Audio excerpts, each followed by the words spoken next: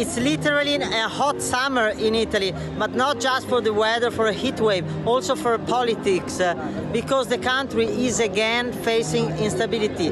Prime Minister Mario Draghi resigned uh, today after his government coalition essentially decided not to give him confidence in a vote in the Senate today, and as threatened before, Draghi went to President Mattarella offering him resignation. But then President Mattarella didn't accept the resignation and asked Mario Draghi to go back to the parliament and see if he still has a, a majority. The reaction uh, uh, by investors was not great at all. There was a, a, a sell of Italian asset uh, during the day. What's next now uh, is unclear. Most likely uh, Mario Draghi will go back uh, to the parliament next week to see if all the parties of his coalition support him. But you know, it's not going to be a calm summer here.